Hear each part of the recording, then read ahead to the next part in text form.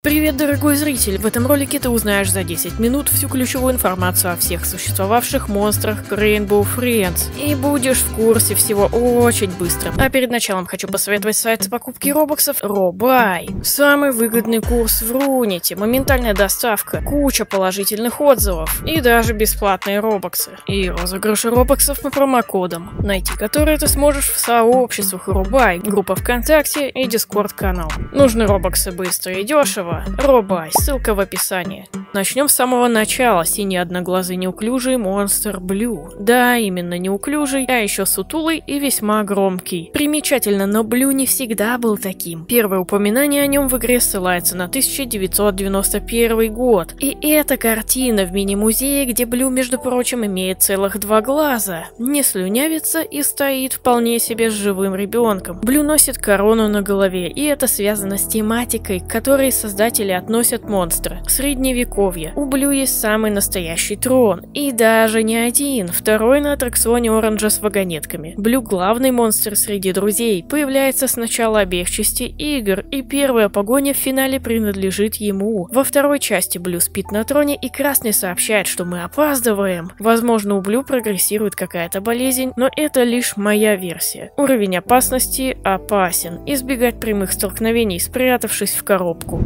Зеленый, забавный монстр Грин. Он слепой и передвигается на ощупь. Каждый его шаг издает пищащий звук. В остальном монстр тихий. Лишь изредка начинает свистеть, как праздничный свисток, опрокидывая назад верхнюю часть головы и размахивая языком ленточкой. Не хватает только разлетающихся конфетти. Грин передвигается медленно и не видит игрока. Уровень опасности относительно безопасен, если не касаться его. Но не рекомендуется попадаться на пути в коробке. Оранж wewnątrz Быстрый маленький прожорливый ящер. Очень любит, хочет и готов поесть. Но если сыт, просто спит на своей лежанке. По какой-то причине не появляется во второй части. Возможно, был занят поеданием большого количества еды. Со временем оставляет следы когтей там, где бегает. Во время голода очень громко топает и ловит зубами игрока. Зрение острое. Если вовремя кормить, не будет представлять угрозы. Уровень опасности относительно опасен. Рекомендуется вовремя кормить и в случае голода голода переждать в коробке или не попадаться на пути. Фиолоч – таинственный обитатель сырых вентиляционных шахт. И откуда там вода, если должен идти воздух? Возможно, естественное место обитания как-то связано с водой, и Фиолоч просто приносит ее на себе. Охотится на игрока, протягивая длинные руки, но делает это на ощупь и замечает его только если тот наступит в мокрую лужицу. Возможно, Фиолоч слепой или с очень плохим зрением. Имеет острые зубы, большие глаза и это все, что мы про него знаем. Судя по свидетельствованиям выживших игроков после его нападения в мире Отда, у Фиолыча очень, очень длинные руки, но больше разглядеть они не смогли. Уровень опасности относительно опасен, можно наткнуться случайно. Рекомендуется избегать лужиц, тумана и других каких-либо подозрительных мест с плохой видимостью. Розовый, недобавленный монстр. Возможно, он где-то скрывался или давно уже мертв. В любом случае, официально не подтверждалось его присутствие присутствие в игре. Может плеваться и проглатывать игрока целиком. Довольно странно выглядит внешне. Уровень опасности неизвестно. Желтый цыпленок. Недобавленный монстр. Прообраз желтого птеродактиля. Да, мы могли бы видеть сейчас такую версию. Ведь у нее уже и анимация была, и примерное место обитания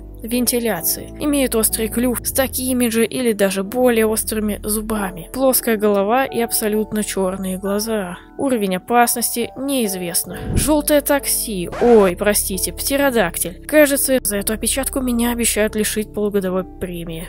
Птеродактиль носит жилет, из которого торчит пропеллер. Неизвестно, может ли он снимать этот жилет, но желтый умеет управлять пропеллером и высоко летать. Желтый стеснительный монстр. И это выяснилось со слов Красного. Он боялся сцены, но решил выступить и показать, какой он опасный на самом деле. На самом деле, он ловит игрока своими крыльями, которыми умеет пользоваться как руками. Жестоко бросает морды в пол, прыгает на него, вцепляется лапами и взмывает воздух. Затем летит летит свое гнездо, но хват у желтого довольно слабый, и можно выбраться. В гнезде желтый заклевывает жертву насмерть. Кстати, не ясно, почему желтый не убивает сразу, как это делают все, но скорее всего такое поведение связано со стеснительностью, и желтый не хочет, чтобы другие видели, как он убивает жертву. Уровень опасности безопасен, если знать технику безопасности. При захвате необходимо дождаться снизу мягкого места и вырваться, удачно приземлившись. Примечание. Опытные игроки могут обратить себе на пользу присутствие желтого монстра на карте. Циан.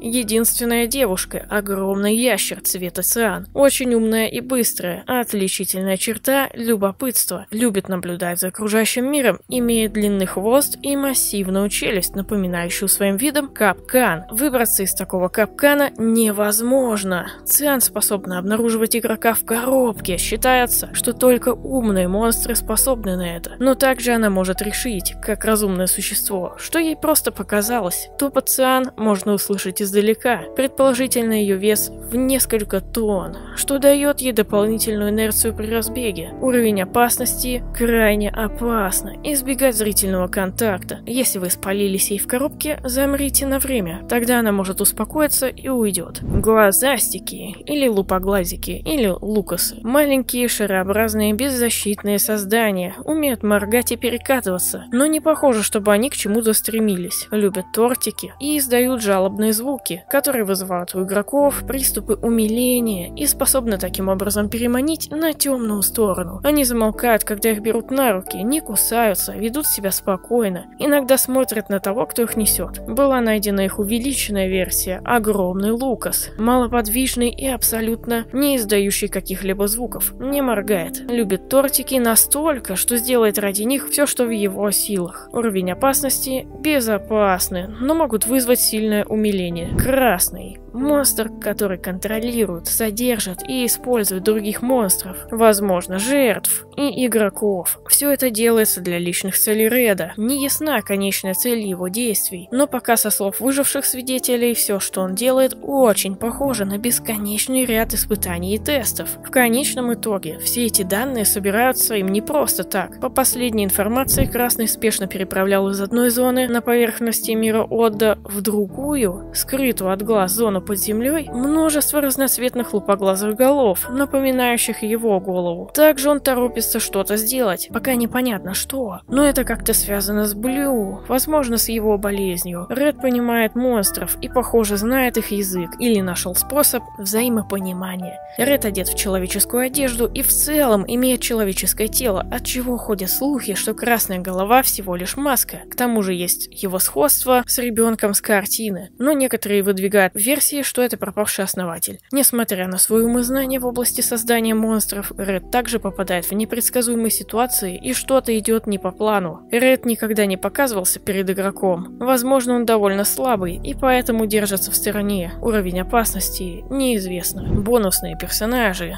Освальд Дэвис, основатель Радужных Друзей. Его портрет висит в музее. По какой-то причине никто его не видел. Возможно, он без понятия, что сейчас происходит с его компанией, или же он и есть красный и просто стал одержим идеей монстров. Уровень опасности неизвестно. Трентон. Неизвестно, кем приходится Освальду Трентон, но судя по тому, что его портрет висит в музее рядом, возможно, он сооснователь компании и оказал какое-то значительное влияние на нее. Был найден на территории мира Отда в бомжеватом потрепанном виде, в своих старых очках. Судя по поведению и способности ориентироваться в этом месте, он действительно в курсе почти всего, что происходит. Знает про монстров и про их образ жизни. Оказал помощь игроку и помог сбежать. Сам остался на территории парка. Неизвестна его дальнейшая судьба. Уровень опасности безопасен. Ребенок с картиной. Неизвестный ребенок, стоящий рядом с Блю. На тот момент Блю не кусался, и ребенок выглядит жизнерадостным. Кто он и где он сейчас, неизвестно. Но тело точь-в-точь, точь, как у красного. Уровень опасности. Э, да ты чё, какую опасность может представлять ребенок, которого сфотографировали много лет назад? А пока это все. Подписывайся, что ли, и до новых видео.